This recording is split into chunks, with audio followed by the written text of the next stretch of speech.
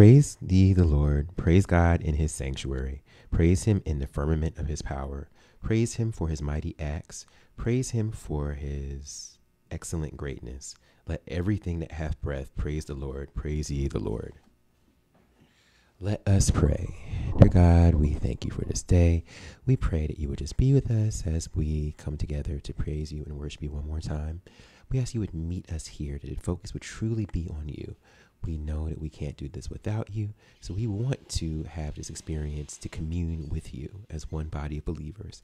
We also thank you for this amazing organization you've created known as the church so that we don't have to walk through this world alone. And we pray that we would, would truly be what you would have us to be in terms of community that you've created, that we will act as your body in this world, bringing about the changes that you desire to see fit. So help us to stand in line and be what it is that you have called us to be.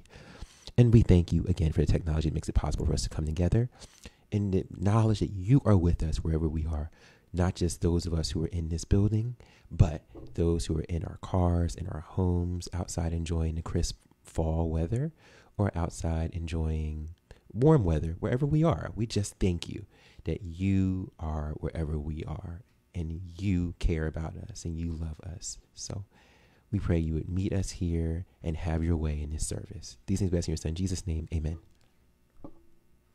Good morning, everybody, and welcome to our service today. Sorry, I'm still adjusting things, but it's good to see you all this morning. I made a point putting my name up for those who don't know. Um, but we are glad to have you here on this, the second Sunday of December. It's hard to believe that we are almost done with the year 2023. Um, it is also the second Sunday in Advent. So today we are lighting the candle of peace, um, which we're going to talk about later on. You know, you see the Advent wreath right here in front. Last week we lit this candle, which was hope. This week is peace. So I am thankful to be here with you all today. I'm spending time with you all during this service. Let me turn the comments on so I can see what people are saying. All right, we had some brief technical difficulties that, you know, delayed things a little bit, but you know, God is faithful and God is helping me to figure out how to fix these things on the fly. So I am glad to be here today and to see you all. Good morning, Mom Rhonda. Good morning, Mom Deaconess Julia. And good morning, Sylvia. I'm glad to see you all. Um, but yeah, it's another Sunday that God has kept us, and we are thankful for that. Um, yeah, so I'm going to talk more about Advent later, um, as well as give some more announcements. But it has been quite a week, but I'm glad that, again, God has kept us, God has been faithful. And I know I can't be the only one that's had a bit of a challenging week, but I am just glad to be here one more time and glad to see you all one more time. So, um, I'm going to do what I do every um, Sunday, which is, of course, to welcome those of you this is your first time worshiping with us. Um, we encourage you to fill out a contact card. That way, we um, can keep up with you. But we formally welcome you, formally welcome you to Pivot Point Gathering, um, and we would love to be in touch with you. So feel free to fill out a contact card. You can also put your prayer request in the contact card. That is how um, we tell people where we are. And not how we tell people where we are. That's how we keep up with you. The contact card, the point of the contact card is for us to keep up with you and to hear from you about the things that you need and how we can better serve you as this community. So, no, the thing that's how we tell people where we are is what I'm about to do next, which is the encouragement to share. I have already shared today's service, of course, you know, but, you know, sharing what we do here is pretty much the equivalent of what used to be, you know, word of mouth. It's a personal recommendation because now the way things are in this world, um, especially as a result of the pandemic, most churches are streaming now, right? So th- the fact that we stream isn't enough to set us apart.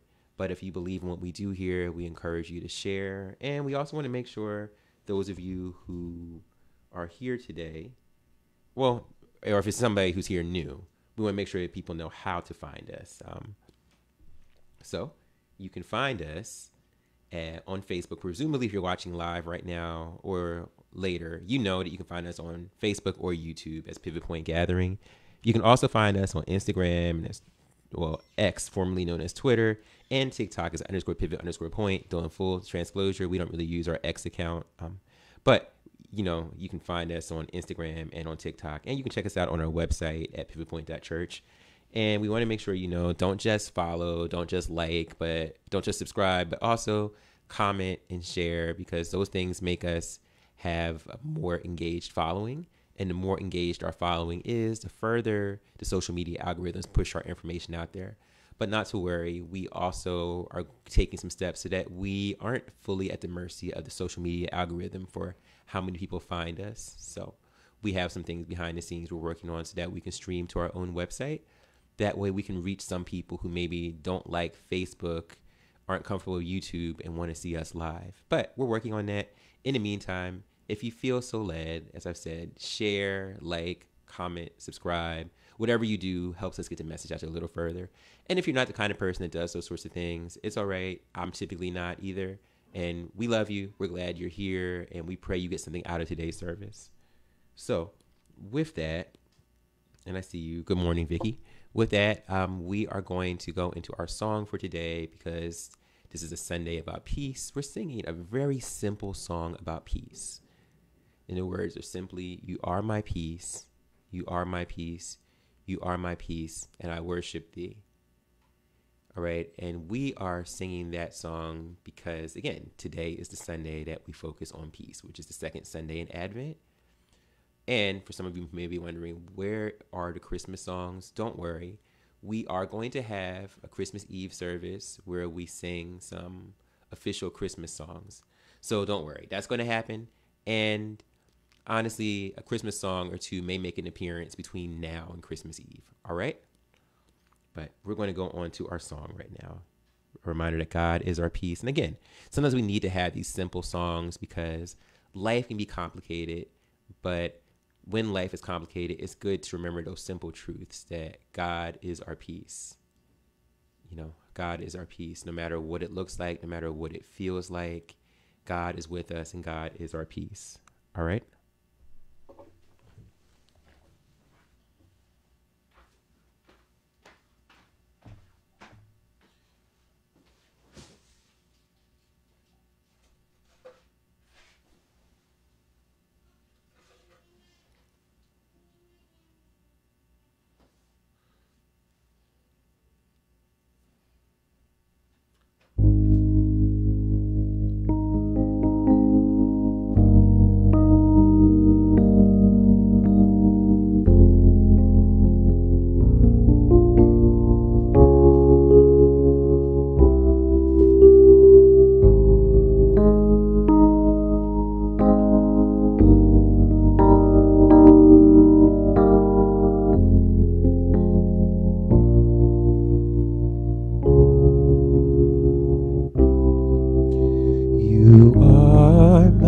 peace.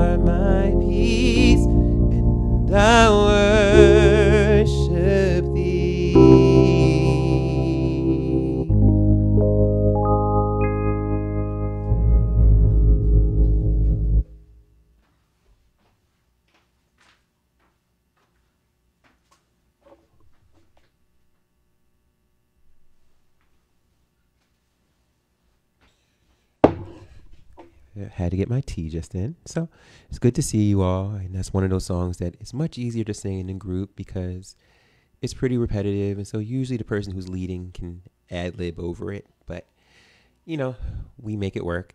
And that's a song I look forward to singing when we all get together um, in one place. And the blessing is that we have some events that are coming up where we will be getting together soon. Um, but right now, I'm going to ask you all, I'm going to put my name back up for those who just joined us. Um, we are going to continue to be in prayer for those in our community who are sick. Um, special prayers for Uncle William, who usually would be watching, but is still, um, you know, in the hospital. So we'll be praying for him and, you know, visiting him and keeping up with him. And so, but just know, I mean, especially at this time of year of the holidays, it's a hard time for anybody who's sick in, in the hospital to be away from their loved one. So, special prayer for him while he's there recovering and recuperating, and a special prayer for all those who are helping to take care of him and supporting him while he's there. Um, so, now I'm going to go into our announcements. And our announcements are always we start with the things we are praying for right now. So, what are we praying for right now? Our location, you know, we've been streaming for a while, but we do believe that God wants us to open up a physical location so we can reach people who are on the other side of the digital divide or uncomfortable with social media. So we also, in addition to, one, to praying about where the lo- location would be, we also need to be in prayer about what type of building, you know, a type of building that makes it possible for us to do all that God has called us to. And that is a part of our prayers for, for our capacity as well. The ability to be what it is that God has called us to be, you know, not just about money, but other kinds of resources, people, focus, wherewithal, you know, things like that. We want to be everything God called us to be. So we need to be praying that our capacity is there. We want to continue to pray about the violence that's happening in our streets, you know, every day, another shooting, um, every day, another stabbing. So many things have been happening, and it's pretty sad that in some ways we as a nation have become callous toward this. Um, we want to continue to pray for the health of our community. Many of our members deal with chronic illnesses, and we want to continue to be in prayer for um, just their healing. And, uh, and we want to be in prayer about the issues that we as people of color face with the medical establishment in general. And while we talk about the health of our community, let's not forget those who are supporting loved ones who are sick, because, you know, that can take a lot out of you as well. Um, we want to continue to pray about our nation's infrastructure. We want to stand in solidarity with our bereaved families. You know, um, whether your loved one has been dead for a few hours or a few decades, the pain is still there. And, you know, grief is sneaky. Sometimes you're over it. Sometimes you just have a vivid memory of that person that makes you wish they were there. So we're here with you, standing with you with that. We also want to continue to be in prayer about our political system because, yeah, things are bleak, especially as we look um, moving forward to the next presidential election and realizing who the Republican candidate may be, which means that there still is a very real possibility that we can have another four years of Trump, you know. So we want to be in prayer about that because there's no way that somebody facing so many convictions and all should even be eligible. But, you know, that's another story. And we want to also continue to be in prayer about what's happening in Israel and the lives that are being lost and the fact that a conversation as simple as a ceasefire is becoming polarizing. So let's be in prayer about that as well. Okay? So now, um, our next slide, let me take a sip of this tea because I really need it today.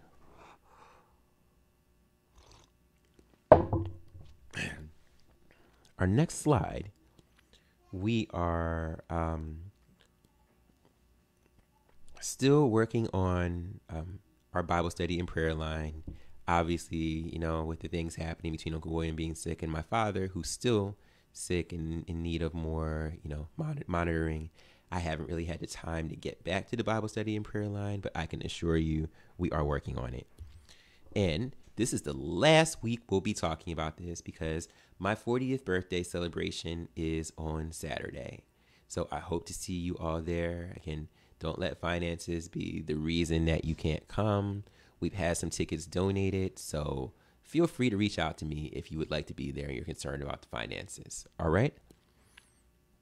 Um, but yeah, I hope to see you all there. It's going to be quite a celebration. I mean, I figured I wanted to celebrate my birthday with people who are closest to me, and you all, the church, are among the people who are closest to me. So it's going to be quite a time, you know, good food, good fellowship. We don't get a chance to see each other very much. So I really wanted it to be a chance for us to fellowship and spend time together. All right. So I hope to see you there. And with that, before we move on to our um, to our service, to our sermon, there are a few things I want to do, some housekeeping things. Reminder if this is your first time here with us, fill out a contact card. You can also submit your prayer requests through there or through our Instagram and Facebook stories. You know, we do pray for those prayer requests during the week. We've had some prayer requests that have actually been submitted. You know, people direct messaging me on the side asking for prayer, and I appreciate that. Also, let us know if God or how God has been answering your prayers, you know, because yes, we pray every week. We believe in the power of prayer but it also strengthens our belief in the power of prayer when we hear how God is answering the prayers that we have lifted up. All right. Um, also, if you'd like to make a donation to this ministry, we would appreciate it. Um, your money would go toward our future community events, um, like my birthday event, but also other things we're doing. Like we are, for instance, buying Christmas gifts for five needy children, five needy local children. Um, so your money's going toward that. It would go toward um, the update of our equipment, um, and it would go toward the times that I'm not here when somebody covers for me. I currently don't take a um, salary or a stipend from the church because I would like to see the money go toward us growing more and doing more of what it is God has called us to. All right. And lastly, if you'd like some more information about what we do, check out our website. Okay. But now, because it is Advent, we are going to light this second candle before I move on to the sermon. All right? Just a minute. You would think I would have put this up already, but I do have um, my Advent readings bookmarked. So we are now at the second Sunday of Advent for the reading. So I'm going to get the candle ready. And some of you, if you're pretty astute, yes, you see it. There is a lighter. And I don't, you know, smoke, obviously. So that is why there's a lighter here.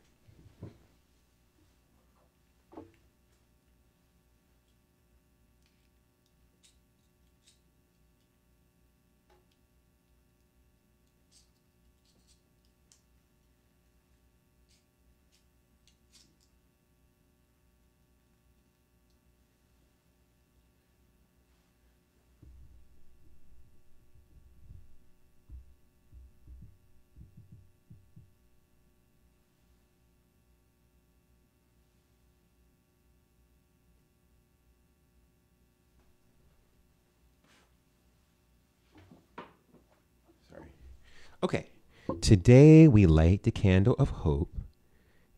Now we light the second candle, this candle for the second Sunday in Advent. This is the candle of peace. As we prepare for the coming of Jesus, we remember that Jesus is our hope and our peace. From the prophet Isaiah, for a child has been born for us, a son given to us. Authority rests on his shoulders, and he is named Wonderful Counselor, Mighty God, Everlasting Father, Prince of Peace. And that is Isaiah chapter 9, verses 6 through 7. And now from the Gospel of John Peace I leave with you, my peace I give to you. I do not give as the world gives. Do not let your hearts be troubled, and do not let them be afraid. That is John 14, 27. Let us pray. Gracious God, grant that we may find peace as we prepare for our Lord's birth. May divisions in ourselves and our families be peacefully resolved. May there be peace in our cities and the countries of our world. Please let us see the paths of peace in our lives, then give us the courage to follow them. Lord, let us remember that you are only you only are the giver of lasting peace and that you are always with us. Amen. All right, so that is our Advent service. Um, at, you know, our recognition of Advent, for those of you who need some background, Advent, you know, we, along with millions of other Christians around the world, um, are celebrating this season that commemorates the coming of Jesus as well as his eventual return. So, Advent is exactly four Sundays out from Christmas. And this year, the four Sundays of Advent happen to correspond with, um, well, the first four Sundays in December. So we have December 2nd, I mean, no, December 3rd, then December 10th. Next week's December 17th. And then the last Sunday of Advent is Christmas Eve. So, yes, we will be doing double duty on Christmas Eve because Advent services also come with a Christmas Eve service, you know, where we commemorate the arrival of Jesus. All right. So, yes, we will have our regular Sunday service and then we will also later in the day have a small Christmas Eve service where we get a chance to sing some great Christmas carols. All right. So that is what's happening. And you all, you're welcome to have your own Advent wreaths at your home. I know some people light the Advent candles every night of Advent. We're only going to do it four times, you know, one for each Sunday. But it's important to me that we do our part to focus on the truly like holy time of this season and not just get caught up in the commercialism. It's very easy to do that. But I figured if our society is at a point where we can start decorating for Christmas the day after Halloween, you know, we as believers have the right to like embrace a season that we also celebrate starting immediately after Thanksgiving. All right? So that is where we are. Now we're going to move on to our message for today. So if you can open your Bibles to um,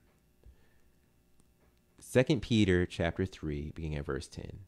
That's 2 Peter chapter 3, beginning at verse 10. When you have it, feel free to type through an amen. And I'm going to put this up on the screen right now so you can see it. And I'm going to get some more tea because I really need it.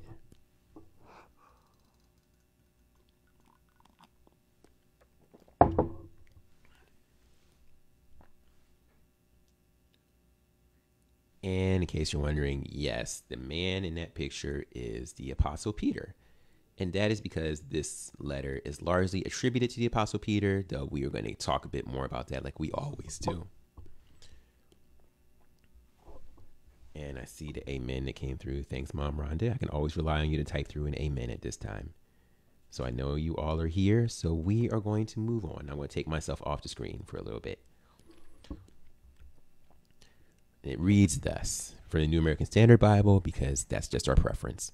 Um, but the day of the Lord will come like a thief, in which the heavens will pass away with a roar, and the elements will be destroyed with intense heat, and the earth and its works will be burned up. Since all these things are to be destroyed in this way, what sort of people ought you to be in holy conduct and godliness?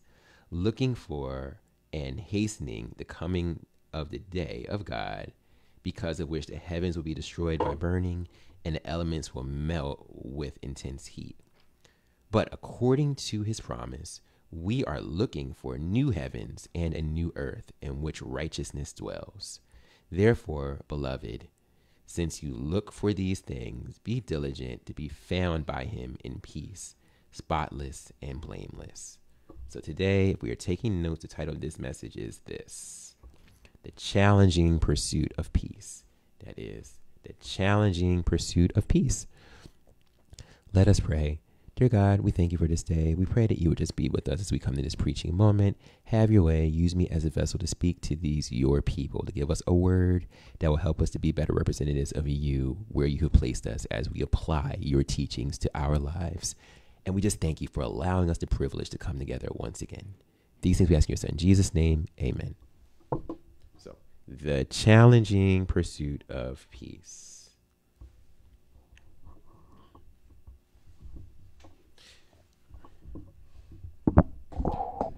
So today is the second Sunday in Advent, as we said, and so we just finished lighting the second candle, which was the candle of peace.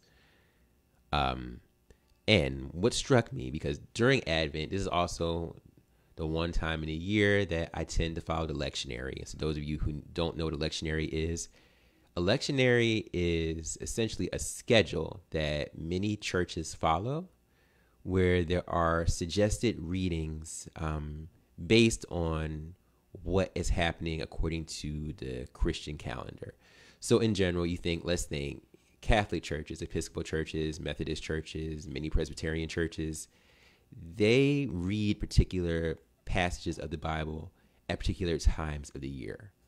And so, if you are a minister or somebody who preaches in those types of churches, you know that your sermon is expected to come out of those passages at that time. And since we are in the season of Advent, um, the lectionary has suggested passages for each of the four Sundays in Advent.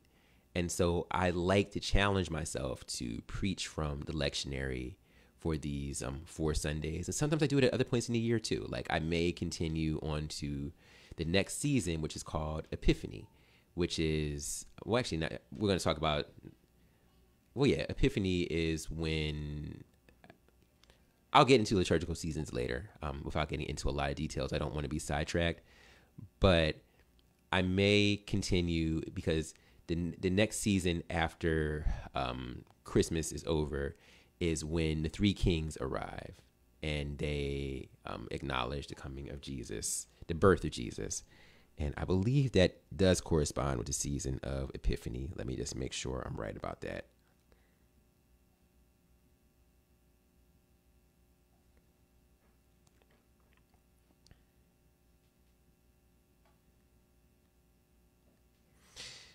Yep, liturgical. Yep, liturgical epiphany is a season that immediately follows Christmas time. So during that particular season, that's when we talk about the arrival of the three kings.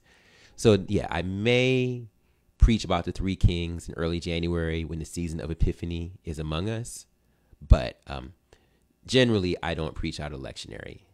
Long way of getting a little bit sidetracked, but so when I talked about it, that's why I didn't mention, you know, me praying and looking for a passage of scripture to come to because last week, this week, and the next two weeks, I'm praying about which passage to preach from that's in the lectionary.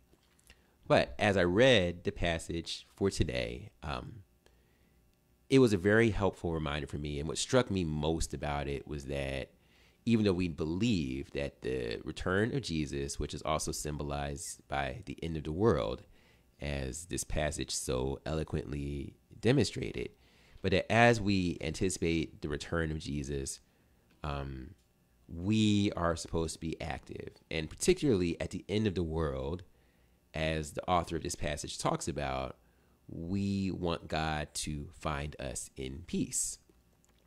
And it's helpful because sometimes we as believers can get so caught up in the promise of an afterlife in the presence of God that we forget about what God wants for us here. And if you've been following this ministry for a while, you know that I feel a pretty strong burden to make sure that I express that our faith is not just good for ensuring us a particular kind of afterlife, but our faith is meant to call us to action now.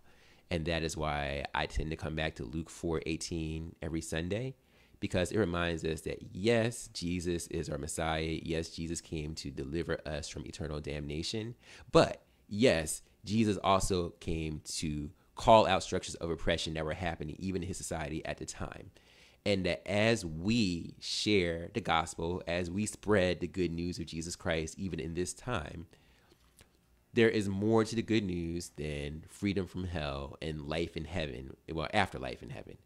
We are also supposed to do our part to create the world that Jesus described here. You know, like I said, to root out the oppression, to bring sight to the blind, to set the captive free, you know, to take care of the orphan and the widow. All those things that Jesus talked about, not just in um, Luke 4 18, but throughout his ministry. Those are all things that we are meant to do, and they are not just limited to telling people, oh, you know, the minute you believe in Jesus, you're freed from hell. So, um, I like passages like this because they remind us that we have work to do even while we are here. Um,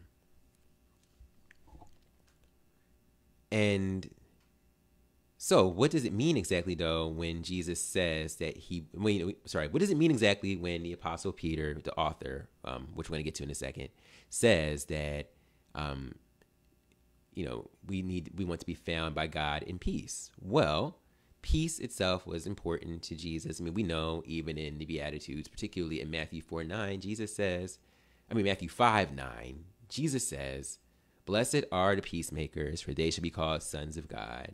So we know that it is important enough that being identified as a child of God, you know, also suggests that we are making peace with all those around us. But what I believe is also getting at is the fact that as humans, whether we like to acknowledge it or not, our lives are full of divisions that are often the source of conflicts. And for those of us who identify as believers, or those of us who hope to identify as believers, our process of mediating and resolving these conflicts is important because we are called to be peacemakers. That's what Jesus said in the Beatitudes. But if we're honest about this, as believers, as Christians at large, conflict resolution isn't exactly our strong point. You know, as Christians, we have a reputation for being mean and judgmental, and it's something I talk about a lot. And it's not just, you know, people have that bad experience that we've all talked about about, you know, going into a church and sitting in an open seat only to have a stern usual church usually a stern church mother come up to you and say, "That's my seat." You know, hey, you're a visitor, you had no way of knowing that but I'm not even just talking about those kind of micro level interactions. I'm talking about the way that, as believers, some of our evangelical brothers and sisters do things politically that make them come across as harsh, mean, and judgmental. So, as I said, you know, conflict resolution isn't seen as our strong point. Um, Plus, the reason that we have so many denominations under the umbrella of the Christian church at large is the existence of unresolved disagreements. Sometimes these are theological conflicts, and sometimes they are far more petty than that. And truth be told, the reason that we have so many churches is also the existence of unresolved disagreements. And that is true, even if we don't want to admit it, that sometimes you can read the history of a church and find out that it really originated as a split from another congregation and not because of something related to scripture or theology, but because some people just didn't get along. You know, it's sad, but it's true, and it's often the case. Now, this is not my way of saying that all churches that start, you know, are the result of unresolved conflicts. I mean, for instance, you know that we launched out of Your Will Christian Ministries, the church that I pastored for a few years, the church that I helped my cousin launch. But our launch was n- not really the result of any sort of conflict. It just was God putting it on my heart for us to go in a different direction than where we had been going as Your Will Christian Ministries. And even if you go back to the history of Your Will Christian Ministries, when we came out of Star of Hope Baptist Church, that was the result of our then, you know, of our founder and then pastor, um, Reverend George Nelson, and what God had put on his heart to reach a different population than what Star of Hope was reaching. And even if you go back one more generation in the church in terms of the establishment of Star of Hope, you find that Star of Hope was created um, as a church for the recent migrants who arrived to the Philadelphia area from Virginia to have their own place where they could worship because they were largely a group of black people living in a mostly white community. And, you know, even if it wasn't under the law of segregation, you know, cities in the early 1900s were still pretty segregated. And so they needed their own place to worship. So, what I'm saying is that there are a lot of churches out there that were started for the right reasons, but there also are a lot of churches out there that were started because of conflicts that people didn't try to resolve. Um, but we need to make sure that as the body of Christ, we are promoting peace wherever we go. And like I said, not our strong point, but one of the things we are called to. So, in the time that we have available today, um, we're going to talk about three ideas that can make the pursuit of peace challenging. But before we get to those three ideas, let's talk about some context, because I like context. So, as I said, today's passage comes from the second epistle of Peter. And this epistle, this epistle or letter, as we call it, is largely attributed to the Apostle Peter, you know, the hothead that followed Jesus around. Um, he was one of the 12 disciples, um, you know, the rock upon whom Jesus said he was building the church, you know, all these things. That's who Peter was. But the reason that I've been very careful, well, not as careful as I could have been, but the reason that I've been careful to say the author and the Apostle Peter, you know, as I talk about this passage is that, as with most of the other epistles, the um, authorship of this one is um, not quite clear. Because even though we do historically believe that this was written by the Apostle Peter toward the end of his life, there also are a lot of scholars who believe that this was actually written by a student or some students who were familiar with the Apostle Peter's work. But because of some of the language that's used in this book, they believe that it could have been written after the Apostle Peter's death. So, you know, it's not clear cut. Um, it doesn't really have any bearing on how I'm talking about today's passage, but I'm going to try to be careful to say the author instead of the Apostle Peter because the authorship is not clear. But if you believe the Apostle Peter wrote it, it's fine. There, it's not clear cut either way. I just feel like I had to let you all know these things because, as I've said before, I've heard some stories of people walking away from their Christian faith because nobody ever told them basic things like the authorship of certain books of the Bible is not clear cut. So I'm going to make sure you all know that from the beginning. All right. But as we get to um, the third chapter of the second epistle, um, we are toward the end of it. Like the chapter, uh, the, th- the second epistle only has three chapters and it only has 18 verses. So today's passage picks up at verse 10, verse 10 out of 18, as the author is ending this letter. And the author chooses to end this letter with a reminder of the way that believers are to con- are to conduct themselves as they wait for the return of Jesus. And again, it's pretty um, straightforward in how it talks about you know there is going to come a time when the current heaven and earth will pass away and there will be a new heaven and earth that we're looking toward um, in which as the passage says righteousness dwells. So that's what we would think of as the end of the world but that there will be another place that god has set aside for those who believe in him um, but what's great about this passage is it reminds us, like, well, don't just sit aside and look for that time period to come up, you need to make sure that when Jesus does come back, you are found by him in peace. So that means we are to be pursuing peace with those who are around us. That means it is not just waiting, it is active waiting. It is working while we wait, making the world a better place while we wait for Jesus to come back. So now we're going to talk about the three issues that I brought up earlier, the three things that I have seen and I've been praying about that make the pursuit of peace difficult. All right? And this makes sense because this message is called The Challenging Pursuit of Peace. So, point number one is this we must pursue peace with those who do not look like us. We must pursue peace with those who do not look like us. And if you're looking at this slide and thinking, wow, this seems like it's the ugly duckling, you are correct. You see, there are the four yellow ducklings, and they are looking at this other one. It just doesn't seem like them, and they kind of make fun of him.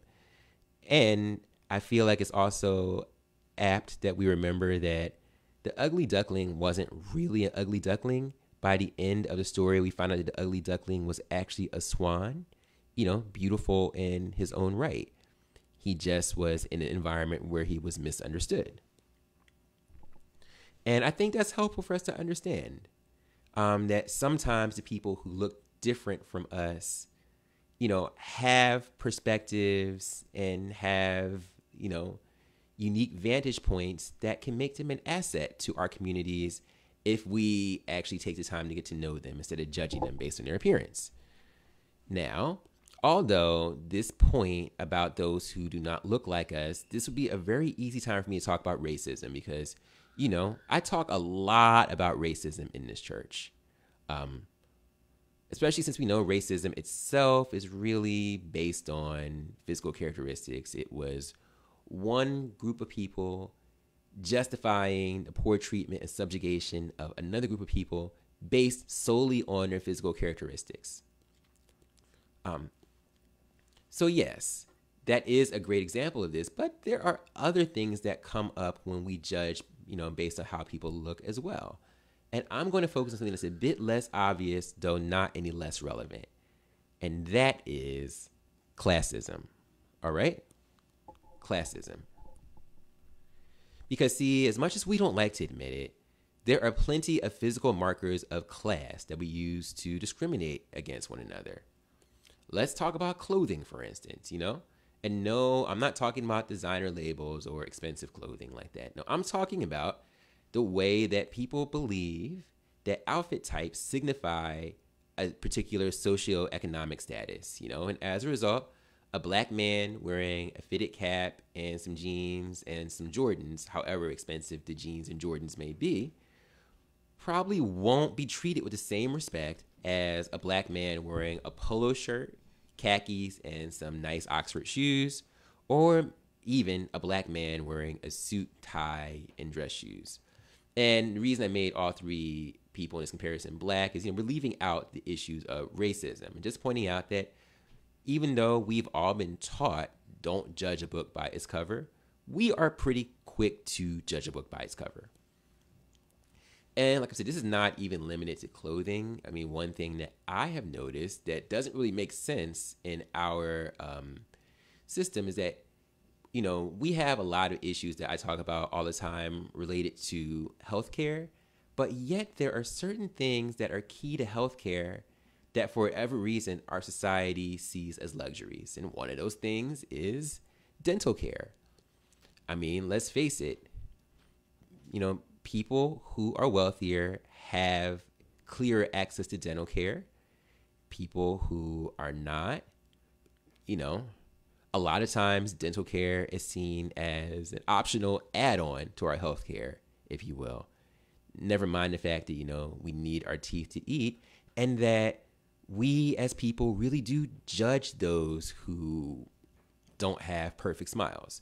And I'm not even talking about, it's one thing when somebody smiles and they have a mouthful of crooked teeth, but it's another thing when somebody smiles and their teeth are missing, period. You know, we, we judge people based on that. Um, in one of my days, like within the past few weeks, you know, I was scrolling and watching something on some of you know the MTV show Catfish, where it follows people who have maybe been in relationships with people that they have never seen. Like they either talk online in chat rooms or they talk on the phone, but something has always gone wrong when it's time to meet.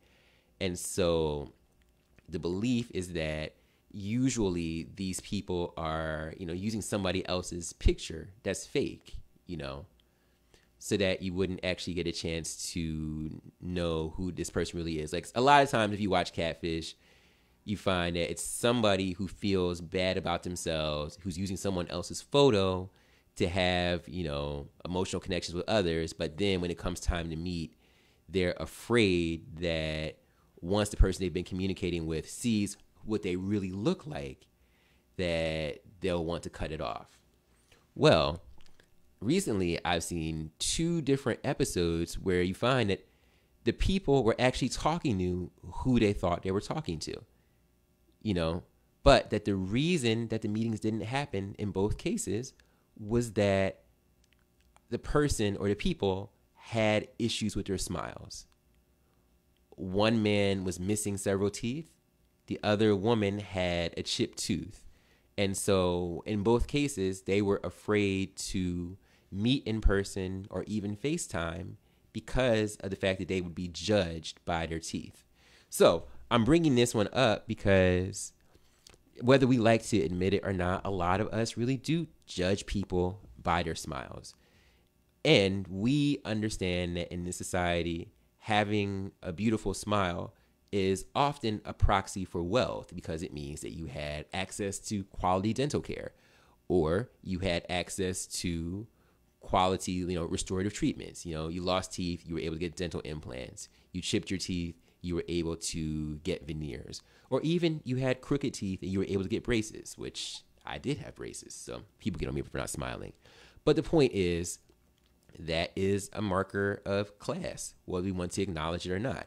Not everybody can afford braces. Not everybody can afford to go to the dentist.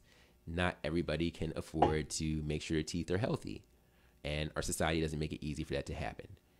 And even though we've been talking about things that are markers of appearance, um, I'm going to extend this to another way that we step forward into the world, which is our sound, because classism is also classism is also the reason that people are ashamed of their accents. And no, I'm not just talking about people who speak English as a second language and you know have foreign accents. No. I'm talking about people with particular regional accents that have been deemed as low class, paying or hoping to pay speech therapists to help mask those accents for them. You know, and these are not just people in Hollywood. We've heard cases of people like, most notably, Fran Drescher, who talked about the pressure to get rid of her Queens accent before it ironically became the key to her success in The Nanny. You know, or people in the corporate world, or people in academia who are concerned that no one will take them seriously if they still sound like somebody from their region. And this is something that even First Lady and I have talked about that, you know, let's face it, the Philadelphia area has a pretty distinct accent, but the accent also differs depending on your race. And that there are some of us who have been concerned that, you know, maybe the way I talk or the way I speak is an obstacle to me being taken seriously. You know, it's not a matter of me speaking in Ebonics, although I will say that as people of color, as black people, we have a right to have our own language and our own dialect, just like everybody else does. And we're the only ones that have been shamed for it. But there are some of us who still, you know, we can speak in and out of Ebonics as we need to and are still concerned about the way our speech comes across, the way our speech patterns are, just because of the negative associations that come with our regional accents. All right. But the reason this is important, you know, so I've just talked about how people are judged by their appearance or even their sound, you know, we had to be careful about this because we are commanded by the Great Commission to teach all nations, not that just those who look like us, not just those who dress in ways that we would find respectable, not just those who even sound how we think someone respectable would sound using the correct words in the correct dialect, you know.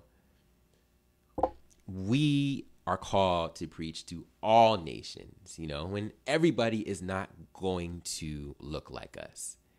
Everybody is not going to come across the way we do. And I know social social psychology makes it clear we like people who are similar to us. But guess what? We are not always going to be able to minister to people who look just like us, who function just like we function in the world. And we have to be okay with that because, you know, we can't live up to our mandate to preach and teach to all nations if we're not at peace with those people. All right. So, and that brings me to my second point, which is this. Not only do we must we pursue peace with people who do not look like us, we must pursue peace with those who do not act like us. You know, and what do I mean by that? Well, you see in this particular um, picture, it looks like, you know, this is taking place at a workplace, and it looks like there are two coworkers who can't get along with each other, and one person who's in the middle, um, preventing things from getting out of hand, right? But what is a major source of conflict, you know, when it comes to people? Well, differences in personality, differences in the way we act. And the reason I'm bringing this up is that I believe this is one of the major reasons that the church, and the black church in particular, has lost its influence. We are quick to look down on people who do not act like we do. You know, and it's true. In some of our communities, and yes, I'm talking about black communities, um, there is this dichotomy between the churched and the unchurched people who go to church every Sunday, people who come from families that go to church all the time versus those who don't. And truth be told, this persists not just in our tr- communities, but also in our families. Because sometimes we forget that as the church, one of our main reasons for existing is to spread the gospel. And as I've said, we are to teach all nations, you know, all peoples, right? We believe that the gospel has the power to transform but many of us feel like we have the right to pick and choose who gets to benefit from the gospel's transformative power, as if God didn't reveal himself to us when we were in a less than desirable state. And I'm going to say that one more time. We as the church believe that the gospel has the power to transform, but many of us feel that we have the right to pick and choose who gets to benefit from the gospel's transformative power, as if God didn't reveal himself to us when we were in a less than desirable state. See, we don't always have the patience for people who don't understand the nuances of church life. Never mind the fact that many of those nuances are, you know, man-made and have nothing to do with the gospel message itself. And if we're honest, this in and of itself is a reflection of how classism has infiltrated the church. But here's the thing.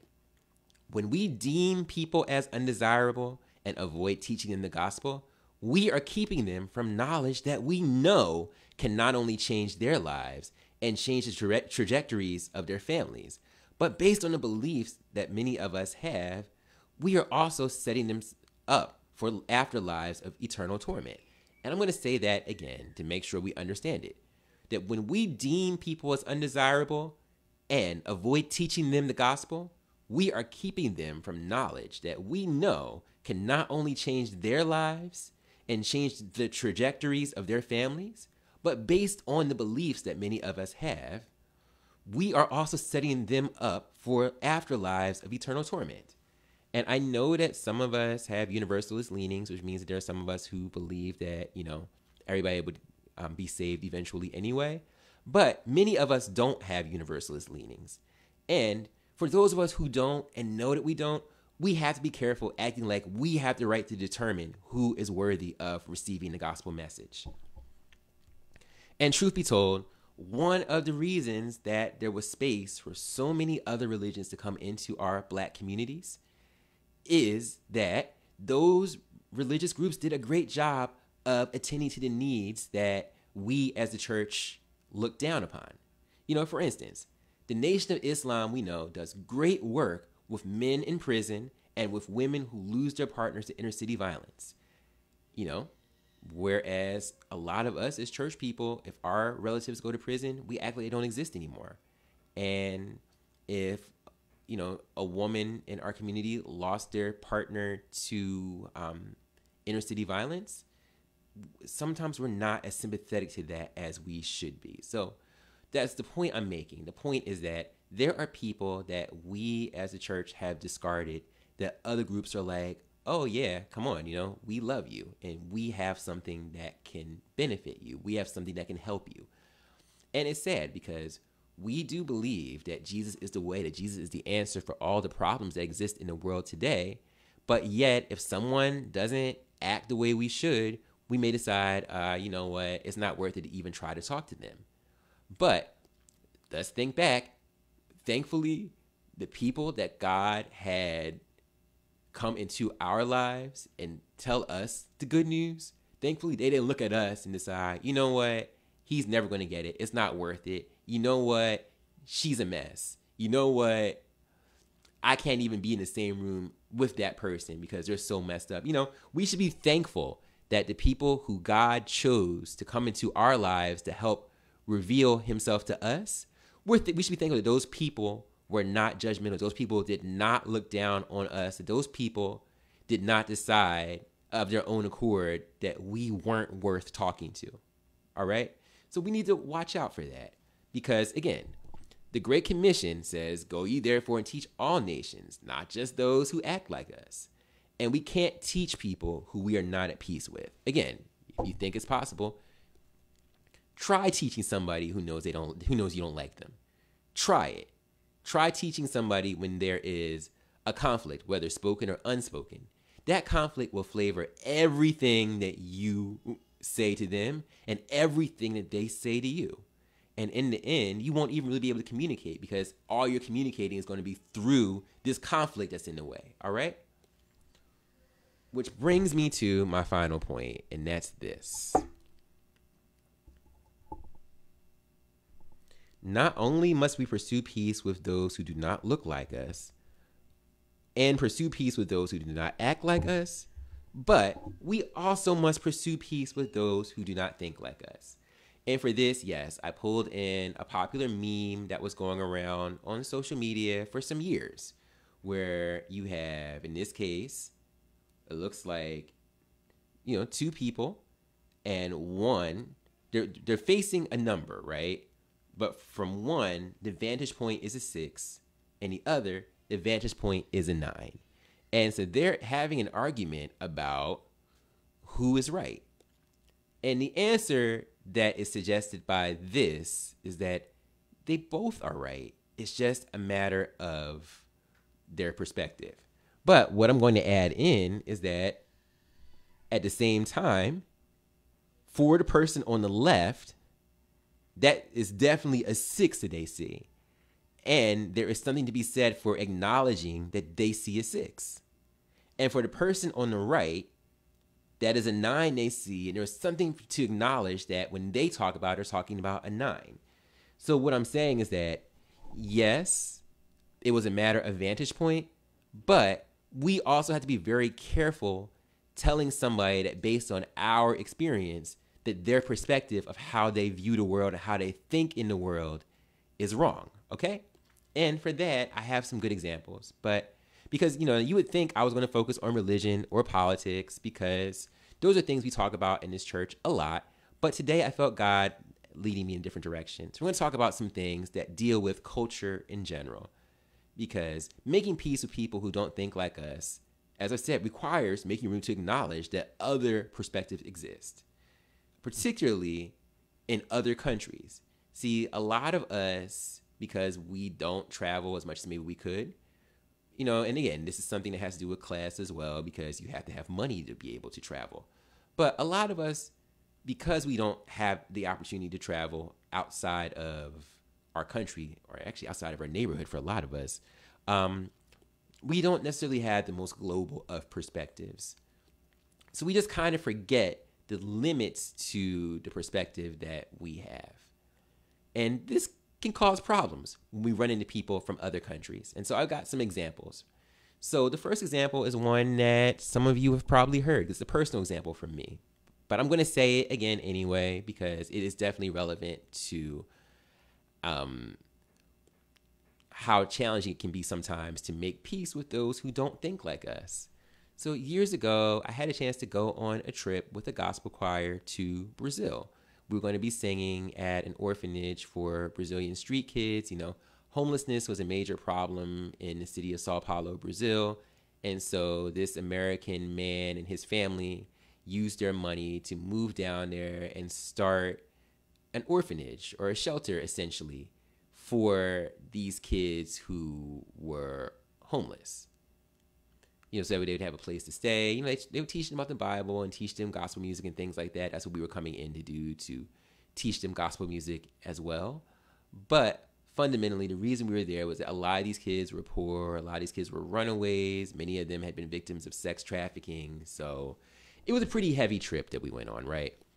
But this story comes from before we even got to the trip.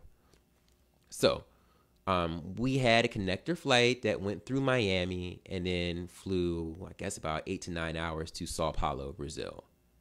So, when we um, got on our flight, you know, as is often the case with international flights, there were people on the flight that did not speak English. They spoke Portuguese because that's the language that Brazilians speak. And although for our trip, we had tried to learn some basic Portuguese, you know, keep in mind, this was a group of largely high school and college students. So there's only so much Portuguese we were going to know at that point. And there were some parents who went on the trip too. Um, so in trying to communicate to Brazilians on our flight, you know, some people in my group, they put together their own makeshift kind of um, sign language, if you will. You know, you're thinking, well, we don't understand each other's words. And for those who are a little young, this is before the time period when you could go on your phone and use Google Translate. All right. You know, we had to try to figure things out. So, um, so we're trying to figure out how to communicate. And, you know, of course, I was fine, but there were others who were at the edge of the group who were trying to communicate with the Brazilians who were sitting near us. And at some point it becomes clear that there has been some kind of miscommunication. Like things get heated. The Brazilians seem like they're really angry and upset, and they're talking about people in our group, but we don't really know what's going on because, like I said, we don't understand Portuguese. But you can kind of tell the body language and the intonation, like, oh, they are angry. Like they're like banging their seats against people's legs, and it, it just is a mess and be like, well, how do we present prevent this from getting out of hand? You know, we're a Christian group. We're trying to go down to Brazil to make a difference. So, you know, I remember pulling some people aside, and some of us pulled some people aside in our group. To, you know, it's not worth it. We don't know what's going on. Let's just try to deal with the situation.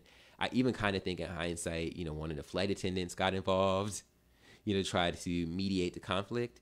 But we never really understood what happened until we got to Brazil. And somebody said in passing, you know, so what was it? And one of the members of the group said, well, I was trying to tell them was everything okay, and I made this symbol, you know, for okay. Because for us in the United States, that means okay. And I don't remember who it was, but someone in our group said, that's the middle finger in Brazil. So you get what happened here? the person in my group or the people in my group, in their attempt to be friendly, they were actually escalating the situation because their sign for everything is a okay meant, you know, the equivalent of our middle finger. So inadvertently, they didn't realize that they had started the situation by using a sign that was offensive to the people that they were trying to be nice to. And in a lot of ways, you can think this as being loud and wrong by assuming that American gestures are universally accepted and understood worldwide. In this case, they were not. And although I know it sounds crazy, it happens a lot. We do have the potential to be loud and wrong, even with the best of intentions. Case in point, recently there was some confusion about the racial identity of South African singer Tyla best known for her very popular song Water. So, in some interviews, when people would ask her how she identified, she said she did not identify as black. Now, that confused people because if you look at her in this country, people who look like her are considered black. You know, she could walk right into a black neighborhood and fit right in. But she said she identifies as colored, colored being spelled with a U.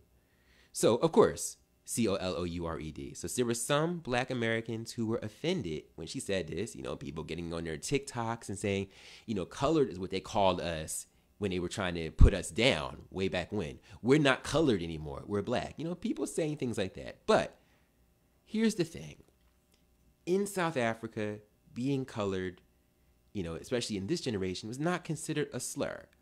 See, in this country, in the United States, anybody who had even one traceable black, sorry, anybody who even had one traceable drop of black blood was considered black. So it didn't matter how you looked, it was all based on your lineage. And we had a binary you were either black or you were white. Well, that is not how things worked in apartheid um, South Africa. So they had people who were white, and they had people who were black, who were Africans, but they also created a third category for people who, you know, were visibly mixed people who maybe knew they had some white blood and knew they had some black blood and maybe some other indigenous blood as well, you know, since there are some Indian populations that, you know, moved to that area because you have to think that South Africa was a British colony and India was a British colony. So, you know, when I talk about India, I'm talking about like actual Indians from India who moved there. So there was a mixture of people that took place but what's interesting about those who were considered colored in South Africa is that it wasn't always based on your lineage. There would be people in the same families, and one sibling might be considered black because of their skin tone, and another sibling would still be considered colored because of their skin tone. So, Tyla is a part of that generation post apartheid where those labels still exist where people who are black are seen as Africans who don't have as much of a mixture. People who are colored are people who are the result of the mixture that took place between the indigenous black Africans, the white settlers, and also other people of color who moved into that area. And then people who are white are still, you know, just white. So, why I'm bringing this up is that those who tried to um, criticized Tyla for identifying herself as colored didn't take the time out to understand the context of the culture that she came out of. So, in other words, they were loud and wrong because they assume that the way that we as Black Americans view race carried over worldwide.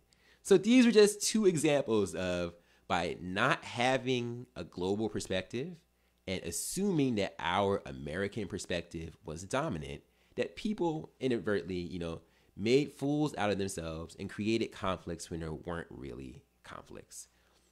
So these are both stories that remind us of the importance of cultural competency, the importance of understanding that people do think differently than we do.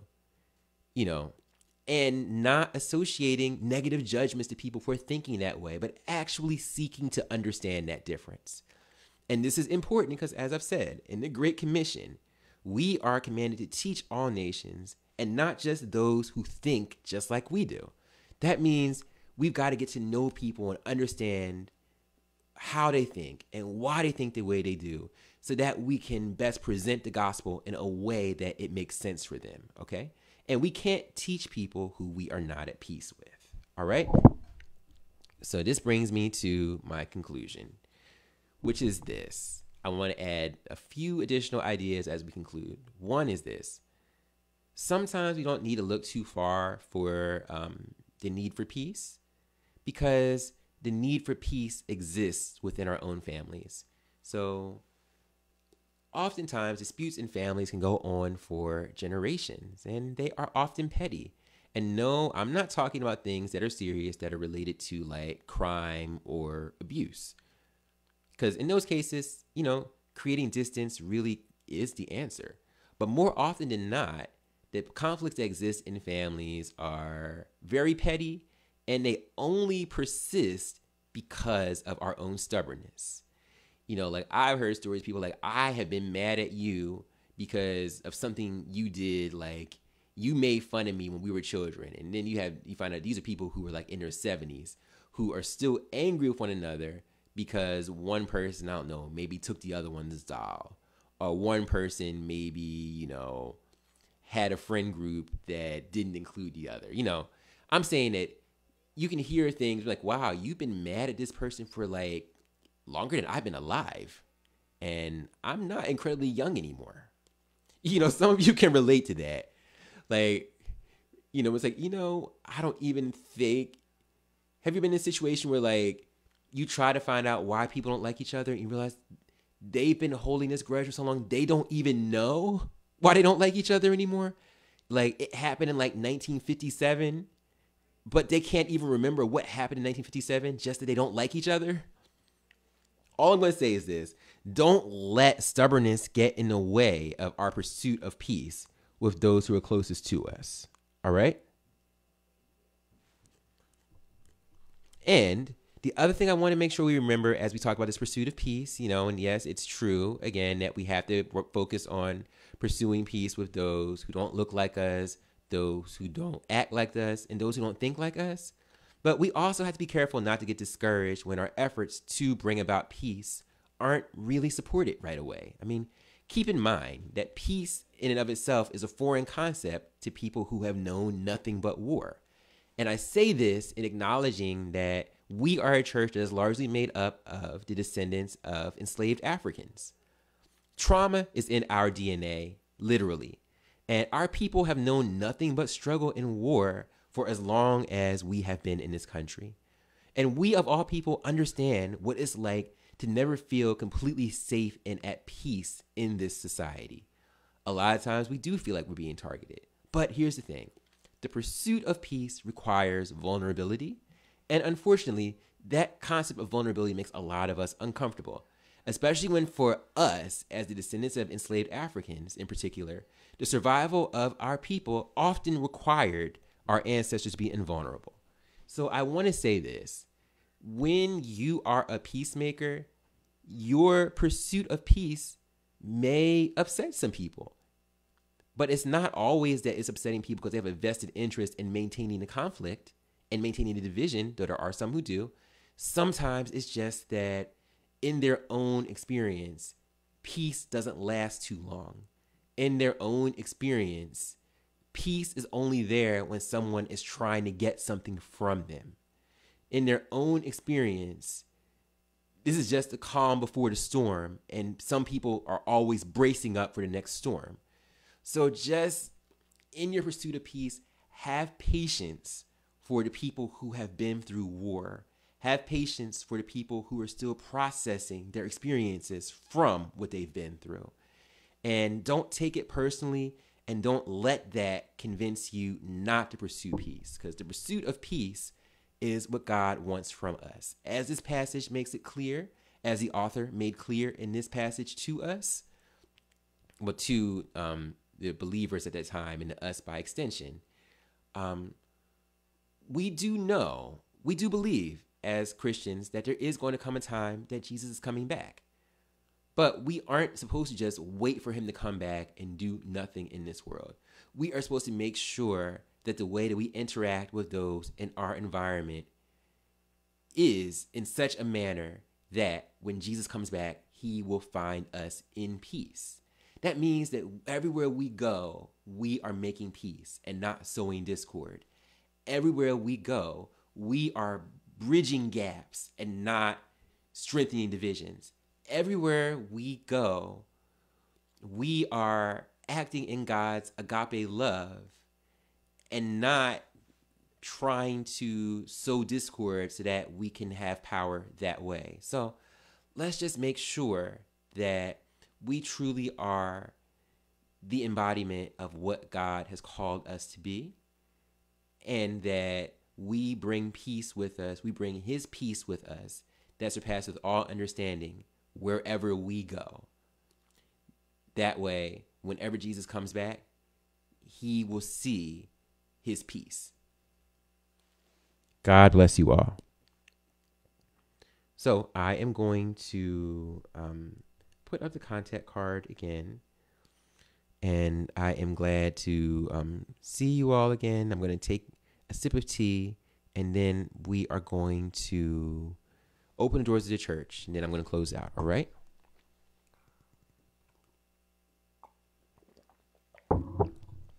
So, some of you may be wondering, you know, this this sermon today was about the importance of pursuing peace. You know, we are in this season of Advent with peace being the focus of the second Sunday. And during this time period, we are celebrating the arrival of Jesus and his eventual return. But this may seem, you know, a bit abstract and distant from you because you don't have that personal relationship with Jesus. See, for us, you know, Jesus' return in a lot of ways be like a reunion, you know, because we believe he's been here before and we are his people. We are the descendants of the people that he left behind in order to create this lovely organization that we know of as the church. But you may not know where you fit into that. Well, I'm going to offer you today the opportunity to um, become a believer, meaning one who knows Jesus for yourself, one who understands what Jesus did for us, and one who has a personal relationship with him as a result of that. See, we believe as Christians, or as believers as I call us, that Jesus is the Son of God, who's God in the flesh, who came down and died for our sins and has now been resurrected. And what he did is important because his sacrifice makes it possible for us to have personal relationship with God, just as God wanted us to have from the beginning of time. So, if you would like to begin this journey as a believer today so that you can find out what God has for you and what direction God wants you to take in your life, I encourage you to pray this prayer with me right now. Say, God, I confess that Jesus is Lord and I believe in my heart that you raised him from the dead. If you prayed that prayer with me today, congratulations, you're now saved. We'd love to hear from you. Um, you can put it in your contact card. You can message us. You can write it in the comments, and we'll pray with you and hear back from me or from our first lady, from our deacon, to help you figure out your next steps in your journey as a believer.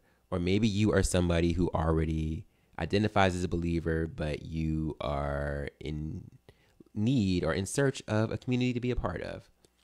You know, we would love to have you here as a part of Pivot Point Gathering. We have a great mandate that God has given us, you know, to um, break barriers and build bridges. We just would love to have you to be a part of us. And we want to make it clear that, you know, we have a category of associate membership, which is for those who are a part of other churches, but still identify strongly with what we do here. And I'm only bringing this up not because our associate members are less than in any way, but because maybe you do identify strongly with what we do in this place, but you have a church that you love. You know, if that's you, we'd also like to hear from you. Or maybe you're somebody who's in need of prayer. Thankfully, um, we are a church that believes in the power of prayer. And so we have a lot of you who've been putting your prayer requests in the comments already.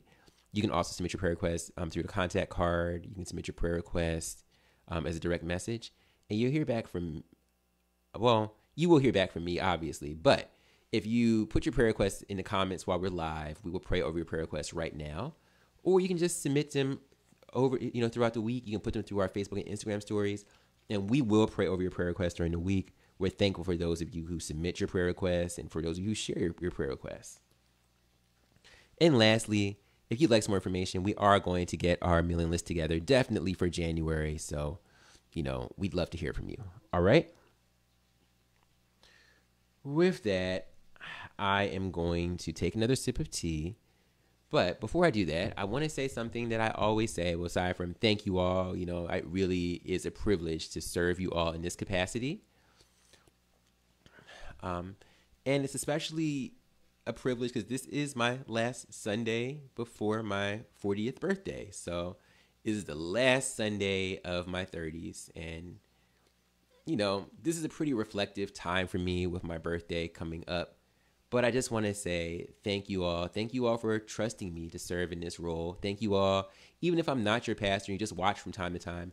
Thank you all. I really appreciate this. Um, you know, it's a real privilege to be used by God in this way.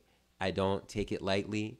Um, and I thank you all for your support of this ministry. You know, there are a lot of other places you could be right now. There are a lot of other ministers you could watch right now, you know, but I'm thankful that you're spending this time here with us today. And I'm going to say something I say every week, which is this. It is sad to me that there are people who can go through the whole week without hearing somebody say, I love you. So, on behalf of the Pivot Point Gathering family, we love you. God loves you. You're important. You matter. And if we were in service today in one building, I would do what my father in the ministry did every Sunday, which would be I would say, God loves you. And then the rest of the church would say, and so do we. So now don't worry, you know, nobody who has listened to this service can say, nobody said, I love you to me this week because you've gotten it. So receive it and know that you are important to us. All right. So with that, we are going to close out, but I always have my eyes open a little bit during service. I mean, during the prayer to make sure that, um, yeah, to make sure that I don't miss any prayer requests as they come through. But I'm thankful to you all, and I will continue to pray for you, continue to pray for me, and I hope to see a bunch of you at my birthday celebration on Saturday. But if not, you know, I still love you either way. All right. so with this, we're going to close out. Let me just take a sip of tea. All right. Let us, well, let me put the prayer requests back up so you can see them. Now, let us pray. Um, dear God, we thank you for the privilege to come before you once again, and we thank you for the reminder that the pursuit of peace is challenging, but it is what you require of us. So, right now, we just pray that you would have your way in our lives, continue to get the glory of what we, out of what we do. And right now, we pray you would help us to just apply today's message to our lives. Remind us of the power that comes with your peace. Remind us of the importance that it is of how important it is for us to pursue peace with all those in our environment. That way, we will have a better chance at spreading your gospel. And also remind us that, um, you know, difference and division are a part of life, but that we still, even when we disagree, we can still be good neighbors. We can still be kind citizens. We can still show your love, even to people who don't believe you exist. That doesn't mean we don't love them. That doesn't mean we don't respect them. Just help us to show your love, even when people may make it difficult. And help us to be better examples of your love as we strive to spread your gospel and as we strive to be found by you in peace when you come back.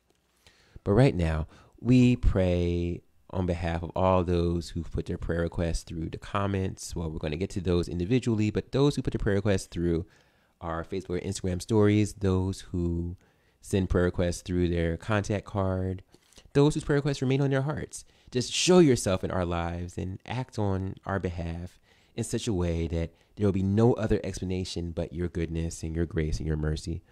And right now, we pray about the prayer requests that we lift up every week our location, our capacity, the violence in our streets, the health of those in our community, our nation's infrastructure, our bereaved families, our political system, and the conflict that's happening in Israel.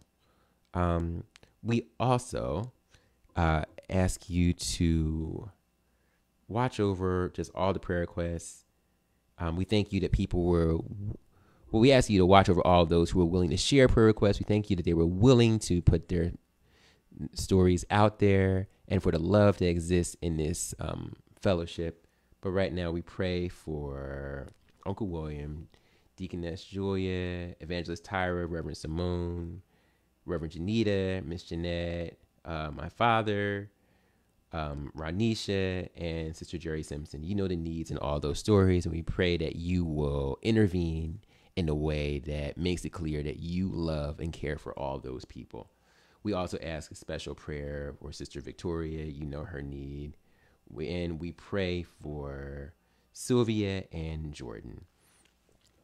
You know the needs in that situation too. And we just thank you for all you've done and all you continue to do. And we pray as well for the friend that reached out to me this week asking for prayer. Um, we pray that you would bless her and keep her and all she's going through and let her know that she's not alone and that she serves as an example for many as she is going through what she's going through. But right now, we just pray that you would be with us, show yourself in our lives, and help us to be better examples for you. We also pray you would take care of any concerns that we may have and give us the patience to, you know, be the examples that you've called us to be. And also raise up the support that we need. We thank you for the beautiful organization that is the church that can act as the support that we need as we do our best to represent you where it is you have placed us. But now, as we leave this place and go back to our respective destinations, we pray that your angels would encamp around about us, to keep us in all of our ways, lest we dash our foot against a stone. And we pray that your light would shine through us, that people come to know more about you as they interact with us. And now, may the love of God, the grace of our Lord and Savior Jesus Christ, and the sweet communion of the Holy Spirit rest, rule, and abide with us now, henceforth, and forevermore. Amen. God bless you all, and God willing, we'll see you next week.